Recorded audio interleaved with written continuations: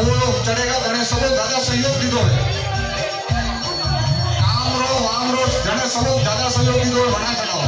ताकि बना अगले साल वो दस महीने के और काम करावे थे ऐसा महीने के चढ़ाओ जड़े काम रो फुल सहयोग दी दो है